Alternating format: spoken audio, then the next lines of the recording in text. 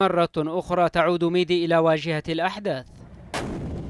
على وقع المعارك العنيفة التي دارت في أطراف المدينة وتكبدت خلالها ميليشيا المخلوع صالح والحوثي خسائر كبيرة في الأرواح والمعدات. الجيش الوطني نفى ادعاءات للعناصر الانقلابية بشأن سيطرتها على مواقع في أطراف ميدي لكنه أقر بأن معركة شرسة قد دارت مع عناصر الميليشيا في عدة مواقع حاولت تلك العناصر السيطرة عليها ومنها القلعة التاريخية التي تقع تحت السيطرة الكاملة للجيش الوطني والمقاومة.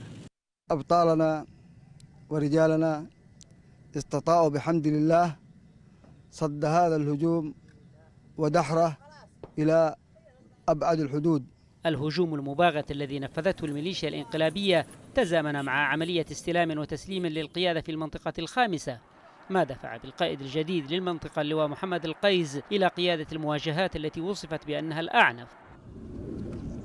طيران التحالف تدخل بقوة على خط المعارك منفذا نحو أربعين غارة جوية. استهدف خلالها تجمعات الانقلابيين وإمداداتهم العسكرية واستهدف كذلك آليات ومخازن أسلحة في جبل أبو النار والمطارية. ووادي بن عبد الله. يحاول الانقلابيون إحراز مكاسب ميدانية مهمة في ظل عدم اليقين السياسي الذي يمر به اليمن في هذه المرحلة. لكن الجيش الوطني والمقاومة يفشلون مثل هذه المحاولات ويحولونها إلى هزائم محققة تتراكم على خط المغامرة الانقلابية التي توشك على الاندحار.